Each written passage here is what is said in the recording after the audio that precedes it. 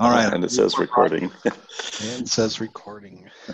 Greetings, everyone, and uh, uh, welcome to the CSI Next uh, November chapter meeting. Apologize for the delay.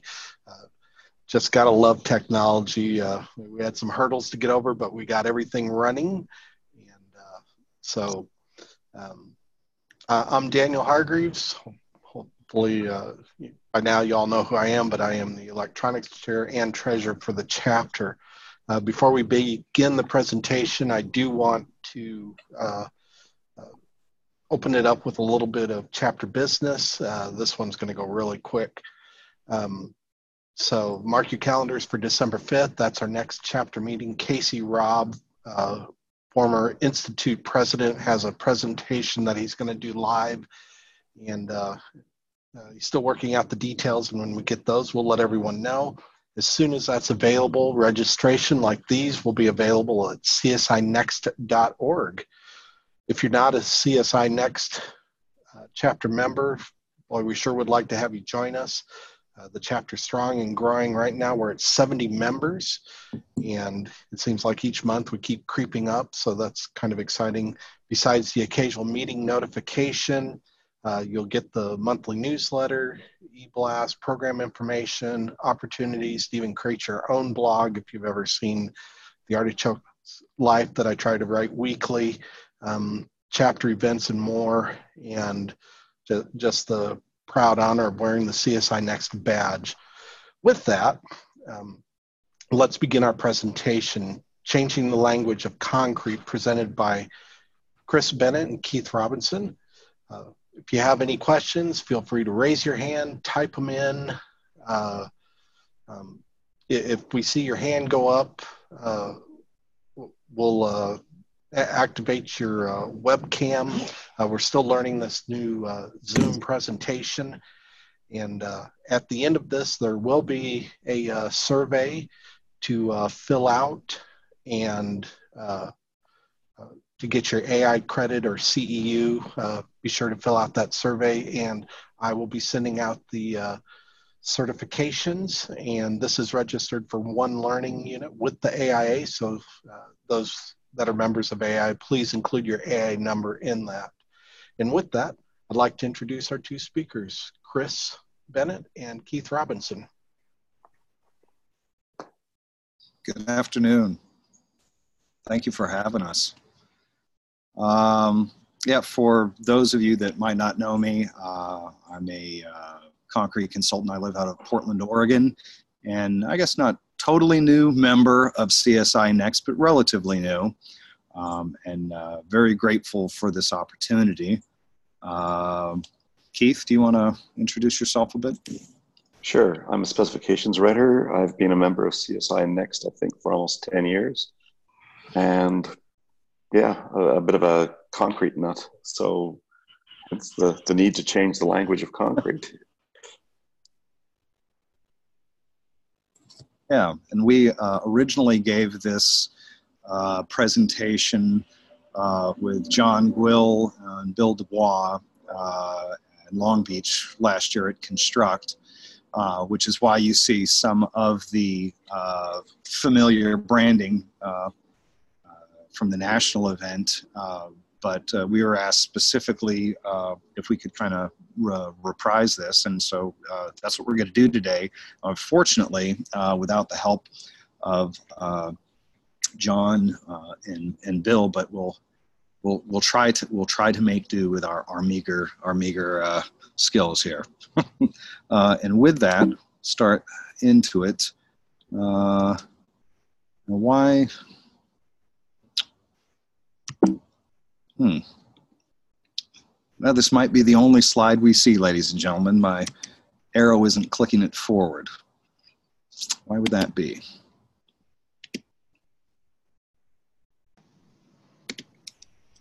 Oh, there we go. Fantastic. Whatever it was, it's over.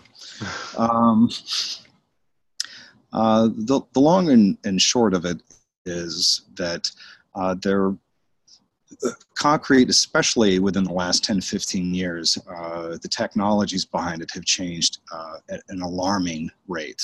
Uh, not in a bad way, lots of advancements, but to remain to remain uh, competent uh, uh, of new technologies and methodologies, it can be kind of hard. Um, and so, for many, many reasons, what kind of happens is you get a lot of, of reproducing past work. Um, and fundamentally, there hasn't been a lot of changes. Uh, on my side of the house, I deal with a lot of flat work concrete. Most of your cast in place specifications are still based off of, you know, a 50 year old uh, ACI 302 document. Um, it's not a bad document. There's a reason why it works. Um, but that doesn't mean uh, there isn't room for significant uh, improvement in su- sustainability, in cost and schedule considerations. Um, and so we're going to talk about that some of uh, today and, and how that language is, is key to unlocking uh, being able to have these advancements. Yeah, and it's fair to say, Chris, that we found that uh, uh, people use concrete terms and concrete languages interchangeably, sealers and coatings and densifiers and you know uh, hardeners the, the the problem is is the language of concrete isn't well set. Yeah. Yeah. And that's you know and as uh, as john will absolutely says many many times words mean something. And if you don't have a, a set definition that uh, designers and constructors and everybody have agreed that okay this is what it means. And when we present it to the estimator they know what the heck we're talking about. Um, you can really clearly have well intend you know well-meaning intended people kind of start going uh, north and south. Um, let's see here. And keith just jump in at any time. Sure. Uh, uh maybe wait for the airplane drone there uh, one of the one of the first things that uh, I've always uh, thought is interesting is, despite the overwhelming la- uh, overwhelming physical evidence of, gosh, not just Roman concrete, uh, but people in Africa and Asia using, you know, thousands of years ago, essentially waterproof mortars. there's this kind of thought process that concrete that just inherently has to be kind of brittle. It isn't going to last very long. You've got to bubble wrap it in all sorts of you know moisture mitigating products uh, because it's just inherently bad. And uh, of course, uh, history, uh, and this is you know uh, a little dramatization here, taking the worst case scenario to to prove a point. Uh, in, in modern times, uh, you'll see a lot of structures that are well under 100 years old, some of them 50, 40, that are absolutely falling apart. Uh, in Canada, in the United States, it's well over 10,000 something bridges uh, that need to be repaired. Um, and generally speaking, they're, they're fairly new. And so, why is it that uh, the Romans could build these structures that are still load bearing, still uh, in use, and have spent, you know, in some cases, the last 23, 2400 years under salt water. Uh, you know, what did they know that we, we didn't know? Um, and it's to just kind of alert people or remind people that um, it, it is possible to build better concrete. It's, it's not um, uh, something magical that you're chasing. Uh, it does exist.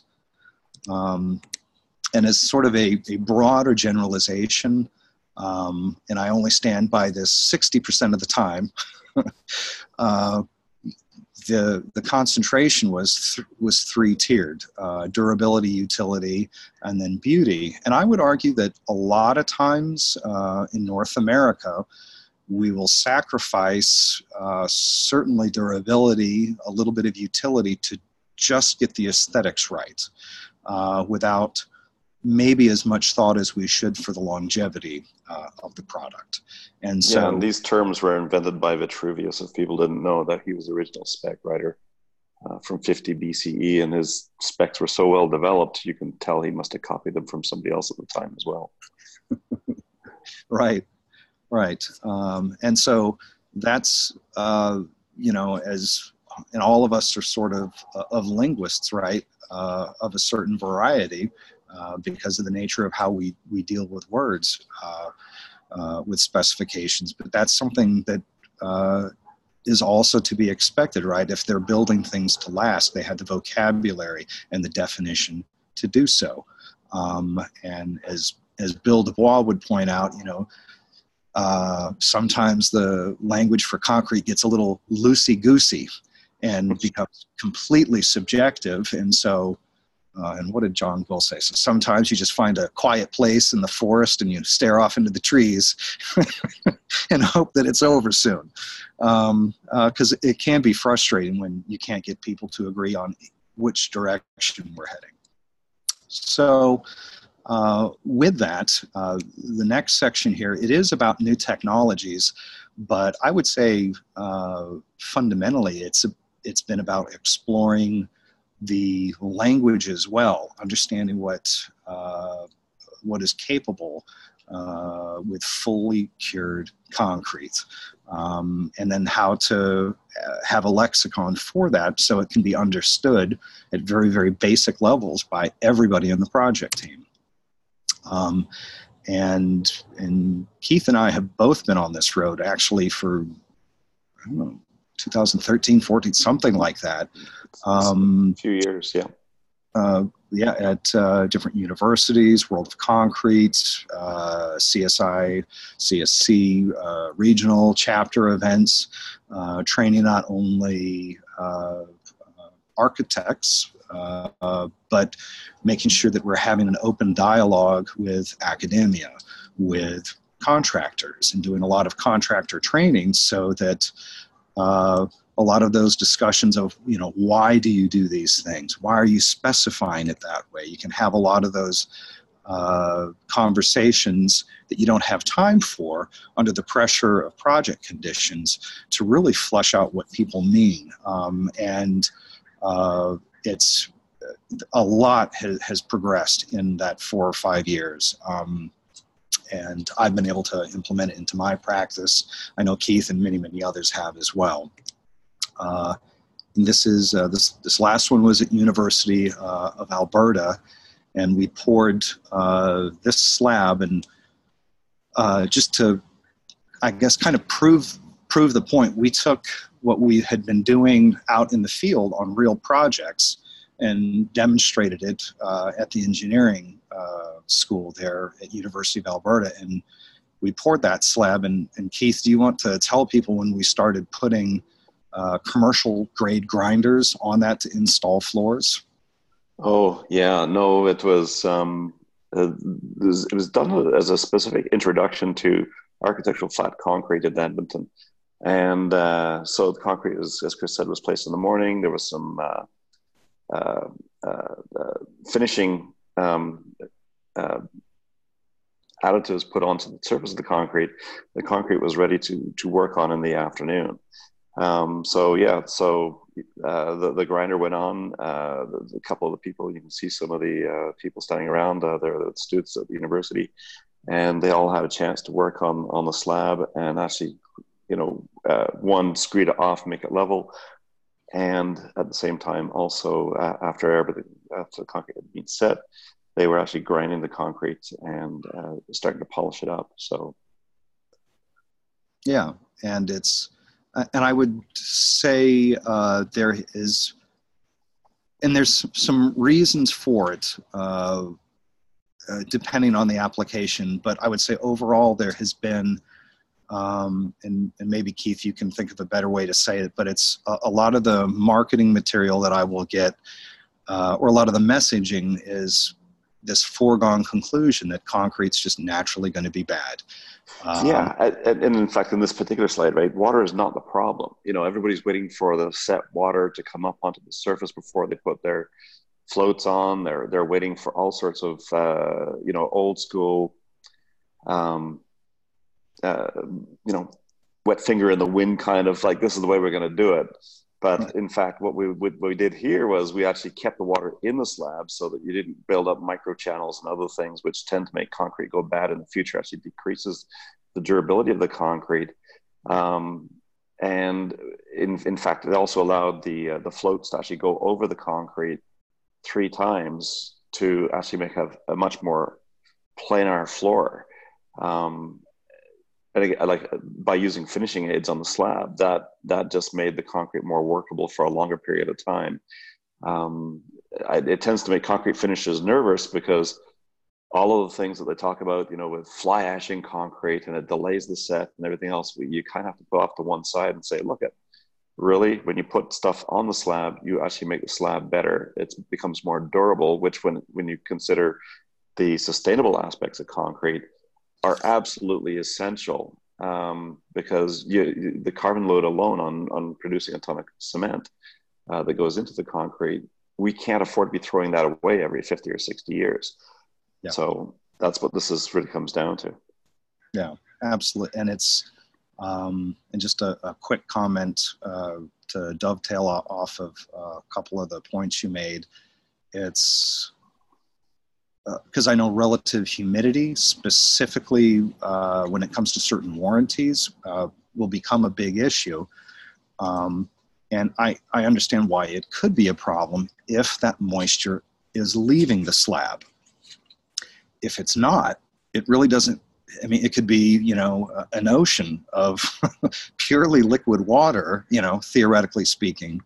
Um, but if it's not leaving the matrix of the slab, you don't have a problem. And so relative humidity for concrete, it, it, it can be an issue, but again, only if only if it's leaving. And so a lot of the new uh, admixtures and finishing aids uh, that are available, you're able to hold that placement water in which uh, does make finishing easier, uh, as Keith mentioned, um, and it also cuts down on uh, the the need, the chance for some of the guys, you know, at the truck to bring out the hose, hose and start watering things down. Yeah, water of convenience, which totally, you know, long term it gets the job done, right? Um, but the the long term durability, that resilience, it's out the window when all of a sudden you start losing P- measurable psi. Um, and I guess we kind of talked about that there. No need to, uh, uh,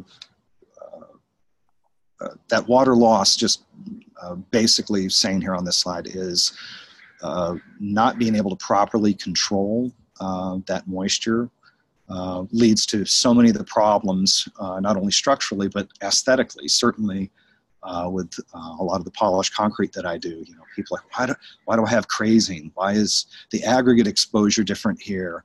Um, and it's moisture uh, and not controlling it correctly is, is a big part of that. Um,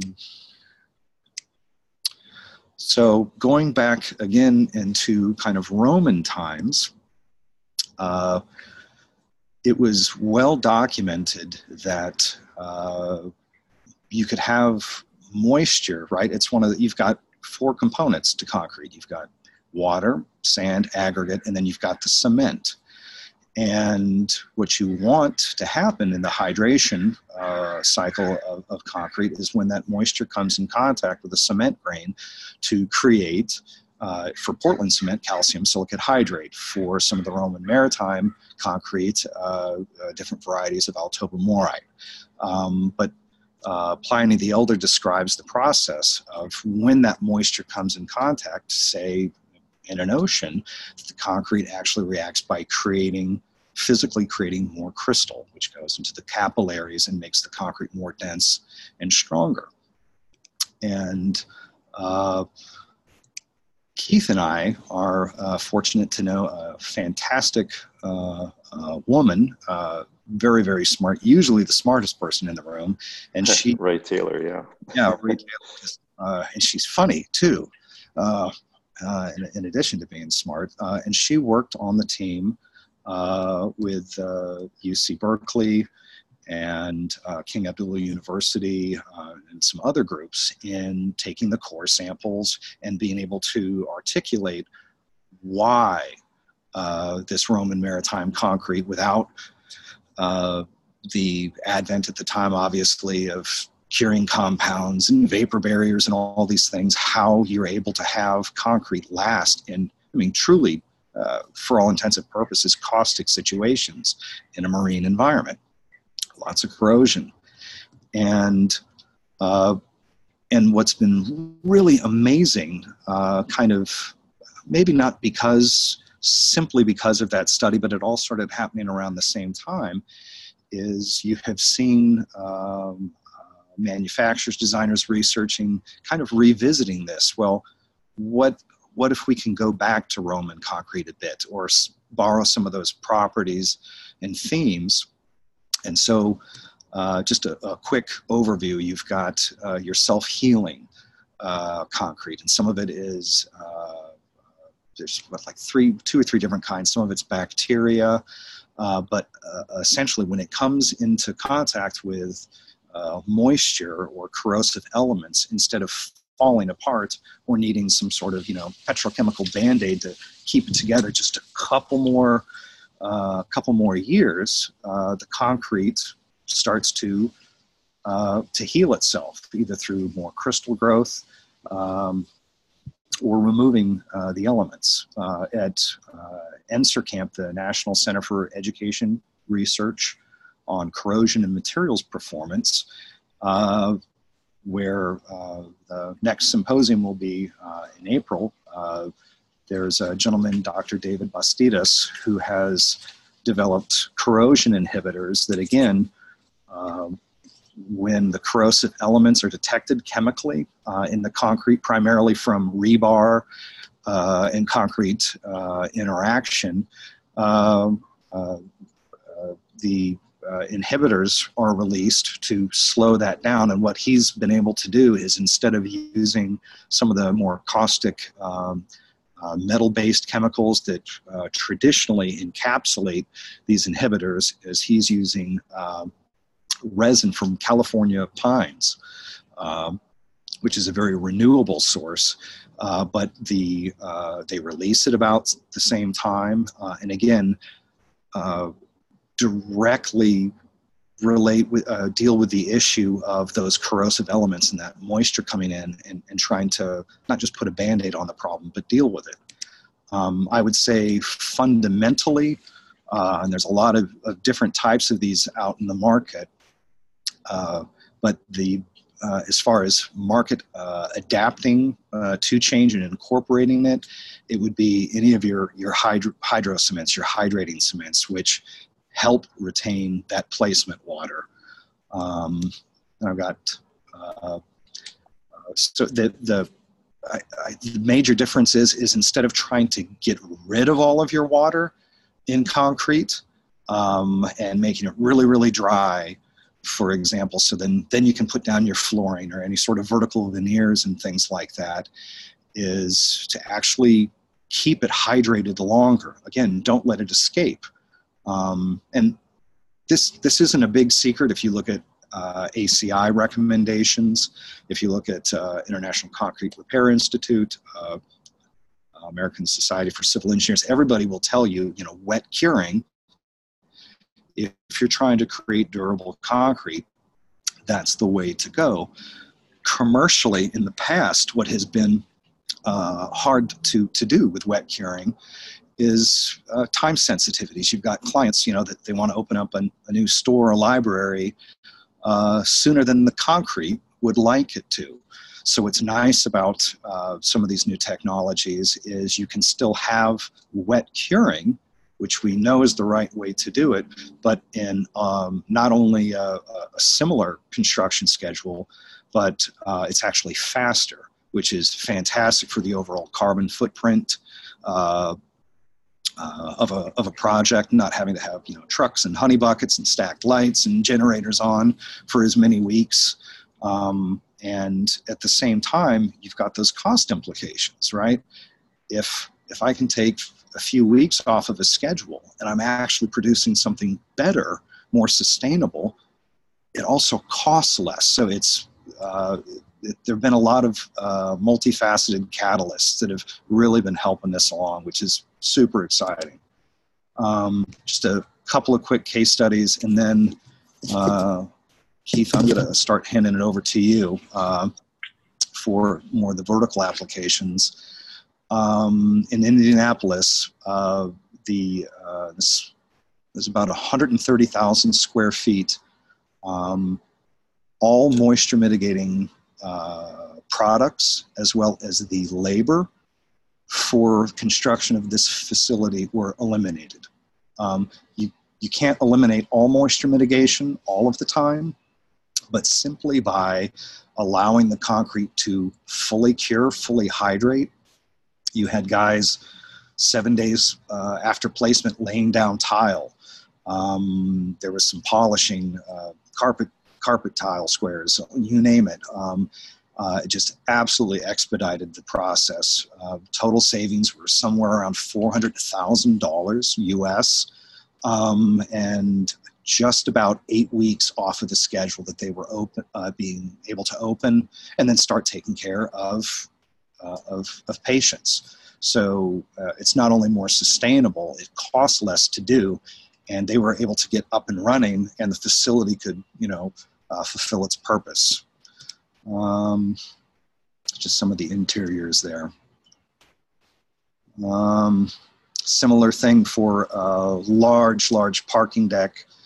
Um, uh, this was done uh, without any blankets, January, February, by being able to use uh, admixtures um, and the finishing aids that uh, Keith had mentioned to contain that water.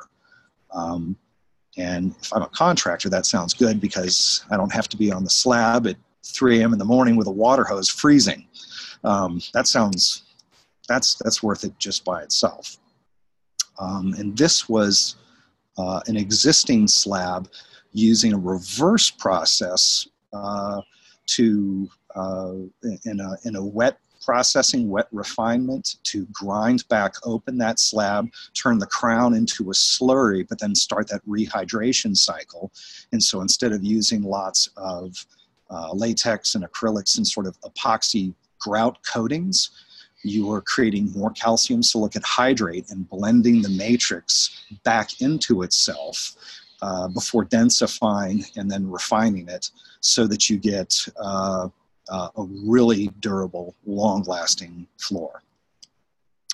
Um, and then uh, this has been, uh, and this is a little bit older information, a lot has gone on at uh, FCA since the original presentation. But um, from a cost perspective, uh, Fiat Chrysler Automotive had been thinking, you know, we, we've got 200 million square feet of, of real estate and we're constantly scraping up epoxy and sending it to wherever, shutting down production, and then having to reinstall these epoxy floors all the time. Um, and so we worked with them for a couple of years on, on really trying to dial in using uh, existing slabs to be able to repel uh, transmission fluid, oil, water, things like that, and have it to be have it be very easy to maintain. So, A, they can uh, keep their production going nonstop be, uh, because that's, that's where they would like to be uh, and competitively need to be. But the environmental implications to not constantly scraping off all this goop um, and sending it to you know to the bin to, to be incinerated or even recycling which certainly creates uh, you know a drain on the grid uh, has been truly phenomenal.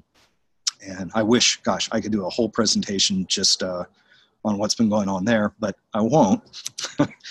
and uh, and I'm going to switch it over here now, kind of leaving uh, the uh, hydration and admixtures and stuff. And uh, Keith's going to focus in on a lot of uh, the specific language. And Keith, you let me know when you want forwards, backwards, and and, and whatnot.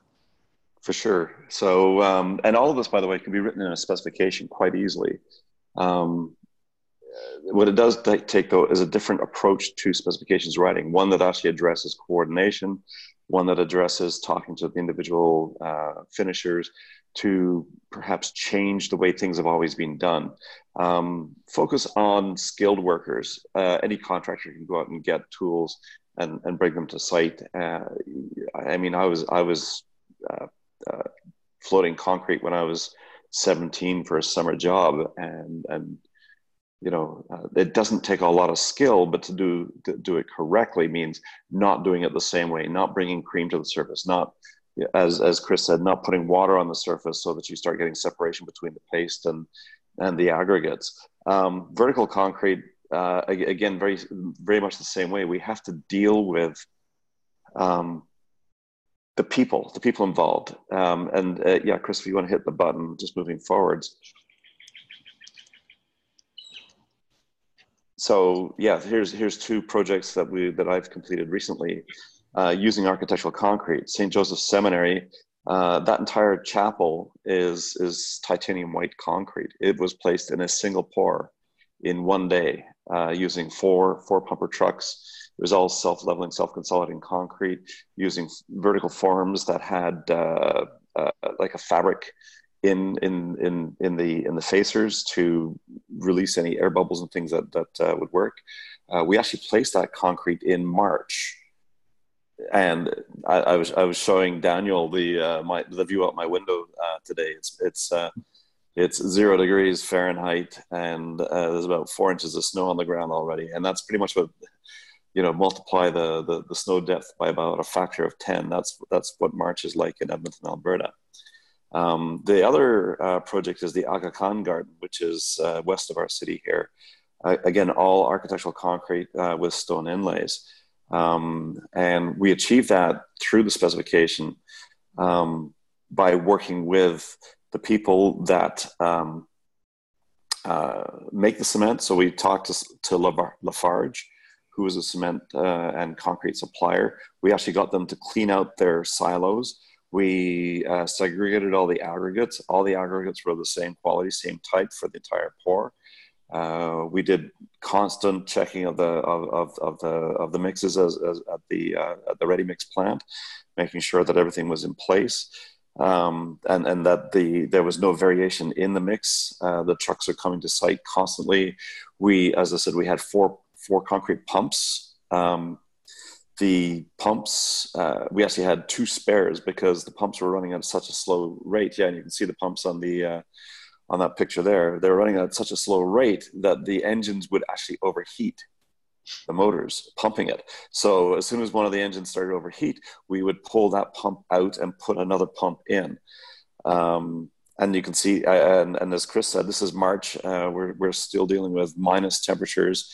And there was enough heat of hydration within this mass of concrete because that concrete was almost two feet thick that uh, we just covered the, the formwork with uh, with insulating blankets. And we kept the forms on for two full weeks. Really scary, not knowing how your concrete's going to turn out, and everybody's worried about whether or not we got enough uh, uh, form pressure release to actually pop the forms off once we get done.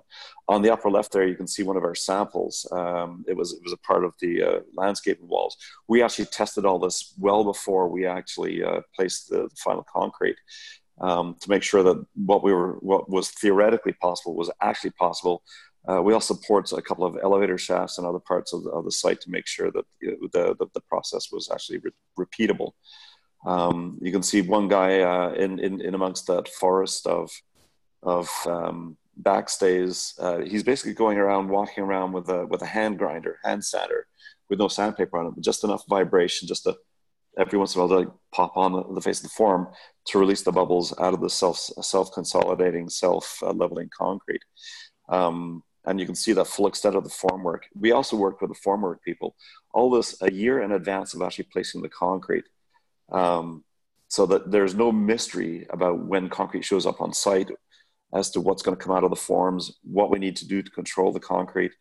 Um, so we plan for every possible what if scenario, except for the guy that after we pull off the forms, as is typical when you when you pull off concrete forms, uh, Joe with a, with a with a mortar board goes out with his um, trowel and starts to fill in all the bug holes. Well, this is this is absolute white, sheer white concrete, and he was using gray concrete paste. and fortunately, the architect walked in and just said, "What are you doing? Please stop."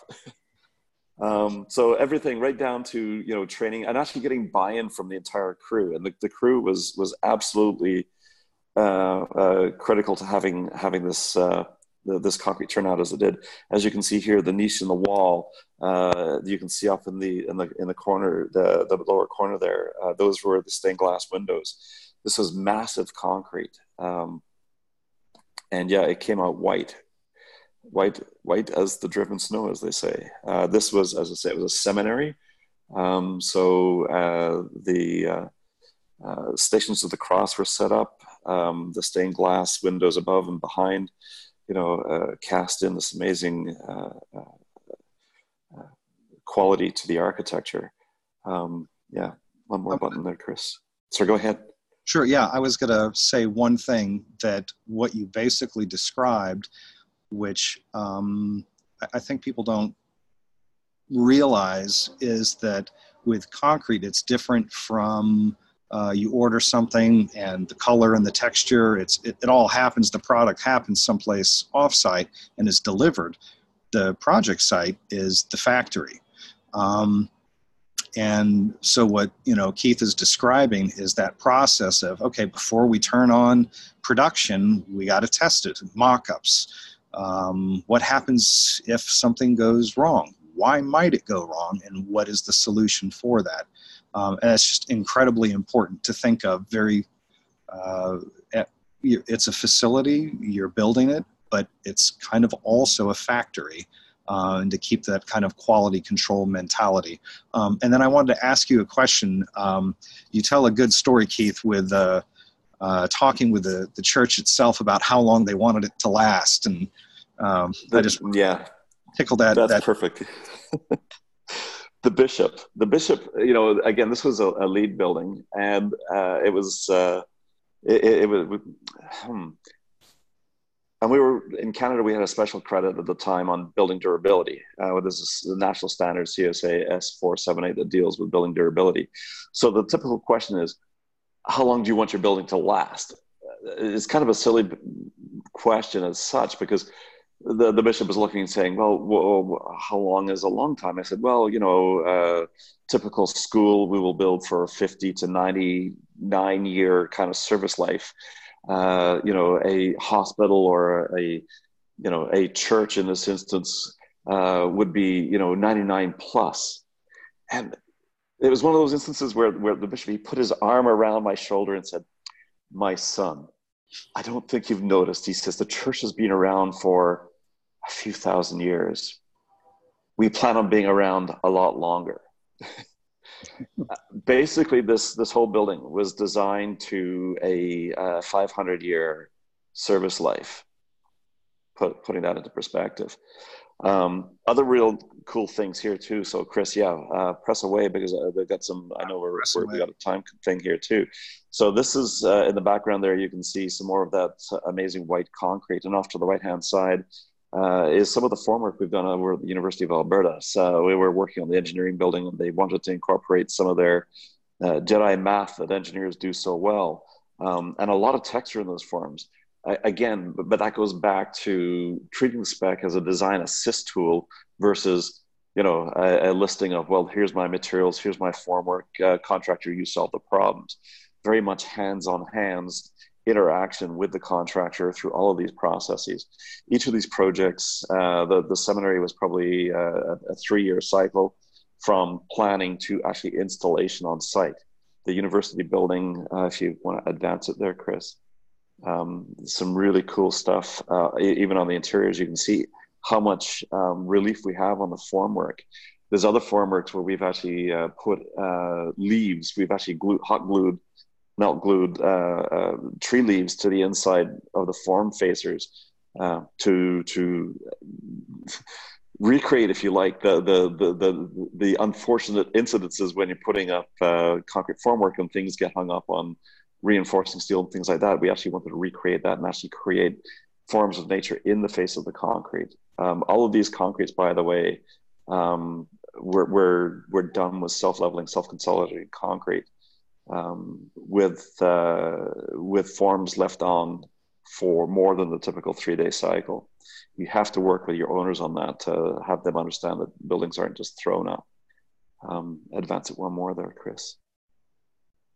So that's the outside of that uh, engineering uh, research uh, facility. Um, so very beautiful things. That building has now been in place for over 20 years, and the concrete looks as good today as it did then. Um, uh, we we did use anti-graffiti uh, coatings, it was siloxane type coatings, um, because unfortunately there are the people in the world, and short of putting up laser guided water cannons, there's there's very few things you can do to uh, prevent people from tagging your buildings. Um, and this building has been tagged, and we've been able to clean off the, the worst of the tags with no ill effects to the concrete. Um, these days, I almost want to say that you want to get that on uh, as soon as you remove the forms. We've had people now where the, the formwork has been off for two days and we've had our buildings tagged, and it's almost impossible to get that spray paint out of the concrete at that point. So, it sounds like you're suppressing free expression, Keith. Heaven forbid. what about the artistic expression of the concrete? Yeah, so this is the Aga Khan garden. Here we use a, a combination of cast in place concrete and ultra high performance concrete. So the Aga Khan uh, uh, is, is, uh, is, Ismaili uh, form of Islam and uh, pattern and, and um, asymmetry is critical to uh, to if anybody's ever been to Alhambra in in Spain, um, you'll, you'll you'll you'll know what I mean when you see the filigree on all of the uh, the concrete. Here we actually made several um, samples with an assigned crew, and again another lesson learned is the crew that you've actually worked with on your mock-ups should be the crew that puts the concrete on on site. Just saying. uh, our, our, unfortunately our crew uh, that we trained with uh, was moved off and went on to another project. So there were a few things. Again, lessons learned. Um, you can see on the lower the lower left slide there. We have these very nice form tie holes. Um, in the middle uh, slide, you can start seeing some gray fuzziness around it. Yeah, so this is a perfect example. Um, so we had a form liner. You can see some of the uh, the form lines and things like that.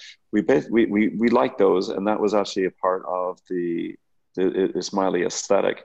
Uh, they didn't want it perfect because perfect is according to to uh, only only God could be perfect in that sense. Um, so they said, no, a little bit of imperfection is nice, but it's nice to actually try to get perfection. So strive for it. Um, so it, what it meant was wherever there was a formed tie hole, we actually sealed the, the cup, if you like, into the into the face of the form, so that none of the, the, the bleed water and paste ran out. And we got some pictures showing how that actually uh, would would look. So tag ahead.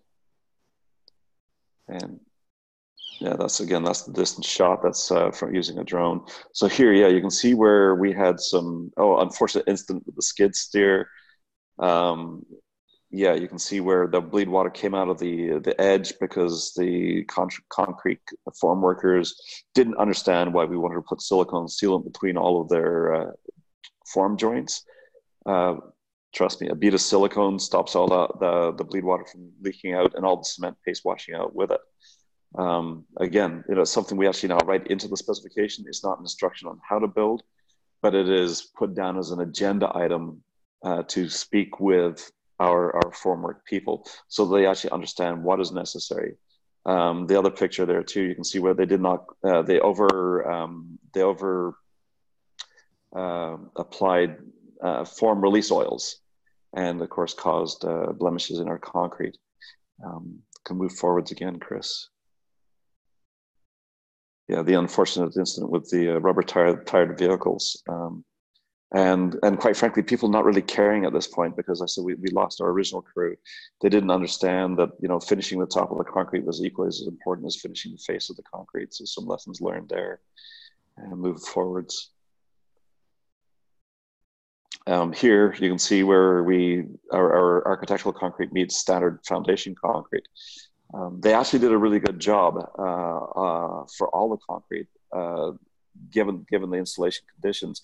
And again, this concrete was placed through the winter here, and it, through the winter means concrete placed uh, between minus 20 and minus 30 degrees Celsius, so definitely um, on the on the chilly side. Um, and we would blow temporary heat up and underneath, and again keeping the formwork on place to maintain that uh, relative humidity of the concrete, which allowed the concrete to uh, react fully with uh, with any, any, any mixed water that we had uh, to fully hydrate. Um, one more move. Oh, I see. I did it backwards. Oh yeah, that's okay. Yeah, so there you can see where we actually uh, this is surface concrete. Oh yeah, this is our ultra high. Uh, that's our surface concrete, and because this was a botanic garden, uh, leaves falling in our concrete was was inevitable because we were surrounded by trees and we were doing the concrete in the fall. Um, we actually then took those leaves and actually created latex molds out of them and just randomly placed them in the surface of the concrete, uh, creating our own fossils. Yeah, forwards one more time. That's our ultra high performance concrete. This is uh, ductile concrete. Um, and that uh, concrete panel is only an inch and a half thick. Um, it, the, the, compressive strength of that concrete is probably uh, 7,500 to 8,000 psi. So it's uh, um, 80 megapascals, I think is, uh, it's, it's like steel. It is absolutely phenomenal what you can do with concrete. Um, again, working with the concrete supplier again with Lafarge to to create the molds and the forms that, that actually created those, and we could get repeatability out of them. Forwards one more time, Chris. Uh, yes, uh, examples of some really bad concrete because whenever you have good concrete, you have to have the countervailing bad concrete. Um, and, and we encounter bad concrete all the time, despite our best efforts to work with the concrete uh, suppliers, uh, push it forwards. Um, so here you can see where we've removed the formwork. This was supposed to be finished, beautiful concrete. This is what happens when you don't get good control at the uh, at the mix plant, um, where they're incorporating fly ash into into the vertical concrete. So those dark bands and you can see the layering and the different types of concrete. Uh, uh, we did not engage with the concrete people at that time, the people placing the concrete to properly vibrate the forms. So this is one of the things uh, that we carried forwards on our lessons learned for better concrete. Um, this is uh, this is a school in South Edmonton. Um, moving forwards. again, bad concrete honeycombing. Uh, you can see uh, the the pore pore lines on the on the left, and you can see where you have desegregation on on the right hand side. Um, really, this is there's no excuse for this. Uh, I mean, I've poured uh, co- concrete in parkades that people think is architectural concrete. This is just an example of you know if if you don't get people that care about the work that they're doing, you're going to get very bad concrete. I know uh, um, Tadao Ando, who's world famous for concrete. I got to meet him when I was working in Japan many years ago.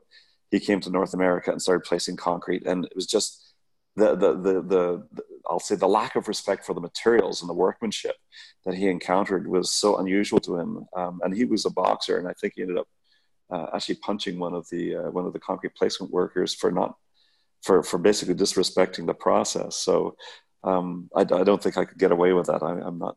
I'm, anyway, uh, let's move forwards one more before that story gets out of hand. Construction administration. Construction administration. That's why we write big, thick uh, specification books so we can we can throw them at the contractor. Um, this is a stair, uh, and, and for me, it's a, a rather unfortunate because it was it, it, was it also was covered over with some sheet metal panels um, uh, to accentuate the fluidity of the design.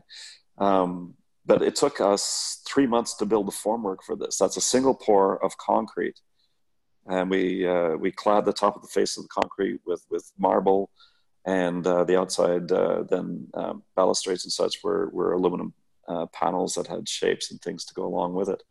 Um, uh, unfortunately, nobody gets to see the artistry of the concrete, um, but I can tell you this is a very solid concrete stair. Um, I, I, I, would say it's it's the it's one of those pieces of concrete that I'm the most proud of, um, given that nobody can see it. So um, let's push it forwards because I think uh, we were late starting, and yeah, that's that's all you see of it now is is the underside, and and you don't really appreciate the structural ability of that concrete and, and and what a monumental. Yeah. Um, yeah, we've got about we, have got about eight minutes, so we're doing okay. Good. Okay, for sure. So there's some bad concrete for you from the underside. We uh, uh, on the same project where you see the curvy stairs, where we spent a lot of time talking to the concrete people. We also had people not really caring about placing floors, and when we removed all the all the the formwork, we looked up, and that's what we saw: desegregated concrete. Um, so even where you have a project where you spend time working with people, and again, uh, that's what happens when you freeze concrete. You don't want your concrete to freeze. Uh, the water turns to ice, and the concrete, uh, the cement never actually reacts. And when you take the formwork off, it all falls out. So horror stories. Um, uh, yeah, uh, different placement technologies for flat concrete this was great. We use actually this is a, a, a, concrete placement method we actually use on on, on bridges and, and roadways. It's the best way to place ultra ultra ultra flat concrete. If you want to get FF 100 and better, this is the way you do it. Yeah. Um, so let's see. We've got what maybe now like six minutes. Do we want to open it up to questions? Questions, I, yeah. Yeah, that's let's start doing questions um, before opening up uh, any other cans of worms. I, I think this is that'd be perfect.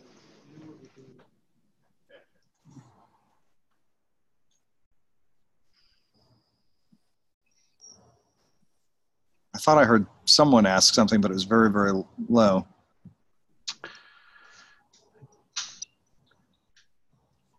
No, I don't have anyone. Oh, okay. Uh, okay. Hang on.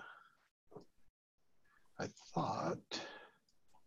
I, I will make a general comment uh, while we're waiting. While while we're waiting, uh, uh, even if uh, your 3D equipment, your laser screeds, things like that, aren't available, uh, how important it is for controlling that hydration process.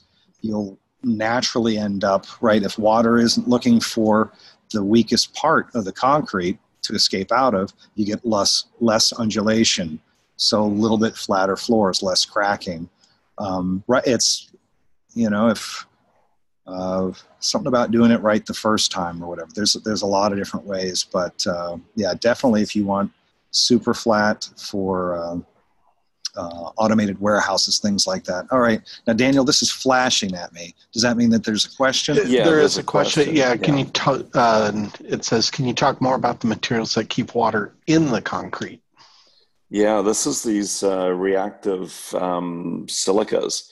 Uh, they they actually uh, go on while the concrete is uh, in this picture as you see it when the concrete is still uh, in, in, this uh, plastic state, and then you you apply these silicate uh, materials to the concrete, and the, it, actually holds the water in the concrete. It actually seals off all of the um, uh, uh, uh, ion channels that the water usually bleeds to the surface on, and that's one of the things that's really special about these um, surface finishing aids, is by keeping the water in the concrete this is the first thing that changes. And that's also true, by the way, of fly ash. Fly ash keep, tends to keep the water in the concrete. Mm-hmm. And uh, the people that put the finishing machines on the concrete tend to go on too late. And all of a sudden, the concrete is hard and mostly set before they can start distributing the, um, uh, the, the, aggregates with, with the trowels. Um, but yes, it's, uh, I mean, it's, it's, it's not really magic. It's just cool schmoo, as I call it, you know. Um, and you bring up the fly ash on a lot of the uh, admixture varieties um, for controlling that placement water. You'll sometimes hear it referred to as liquid fly ash. Yeah. Uh, a lot of those same because of the performance properties. Yeah. Yeah, and we mix in. Uh, there's uh, Lafarge is is very big in um, silica additives to concrete as well. as how you get ductile concrete. So in, in essence, that's what you're doing with applying uh, uh these uh, reactive silicas to the surface while the concrete is wet, um, because it, it absolutely closes off the surface for water coming up, which actually makes the concrete a better vapor barrier. It, it makes the concrete higher performing, more resistant to staining, more resistant to wear. um, acid attack. Uh, it, it basically it incorporates, if you like, glass into the surface of the concrete. Yep. And what used to be the neat thing, uh, you know, early at the top of the presentation, we talked about the advancements um, in technology when uh, these sorts of products start, first started appearing on the scene, you know, uh, I don't know, seven, eight years ago, um, getting adopted commercially, maybe five or six. You know, they've moved from uh, kind of like, you know, micro to all the way to you get these nano silica nanoparticles. Yeah. yeah. So one, and one of the things is, yeah, and that's, and everybody's again calling all this magic wiffle dust, you know, all sorts of different names and again introducing a lack of clarity into the specification, how we call out the products. Um, and that's one of the things, uh, uh, um, not so much self promotion on the part of Chris, myself, and the others, but um, we've created a glossary uh, using many, many different people, very knowledgeable people in the concrete uh, community to start standardizing those terms. What is a sealer? What is what is a what is a surface finish? What is nanoparticles versus macroparticles? Um, just had one, a question there. Yeah. Yeah. One last question, and then uh, we'll wrap it up. Uh, I think th- this will probably be a short answer: yes or no. Can Roman concrete be replicated today? Yes. Yeah, it's it's it's it's. Uh, and you don't yeah, have to wear a toga. Oh wait, did I was supposed to say how? Oh. yeah, it, it's the alumina in in uh, some of the uh, lands that actually create that special property of Roman concrete. Um, Ray Taylor has actually done a lot of research on that, and and so yes, and what that does is, as Chris uh, said at the beginning, was it is it creates concrete that is able to actually repair itself. It closes off ion channels so that when you're building bridges and infrastructure, that when you put salt down on the roads, that, that salt isn't getting to the reinforcing steel and blowing the bridge apart when the when the steel rusts to seven times its original volume within the concrete. So yeah, Roman concrete. I think again from a sustainability point of view, you're going to see a lot more of that coming uh, into the normal vocabulary. Yeah. All right. Once again, uh, Chris and Keith, we really appreciate time you put into this and. Uh, uh also, everyone, we appreciate your patience with getting this kicked off today. Uh, technology, don't we just love it? Um, but thanks again. Your insight on this topic, it's amazing. Uh, you're, you're, right, it can keep going on and on. Uh, but for those of you who uh, participated, if you want your AIA credit or CEU, uh, shortly when we end this, you should get a survey. If you don't, it'll definitely uh, come in an email again tomorrow. And if you don't even see that, let me know and I can manually log it in. With that, uh, appreciate your time and everyone. Make sure you have a good day. Thank you, everyone. Thank you, everyone. Okay, I stopped that share, so I believe it's just us. nope. nope. Oh, well, hello, everybody, still.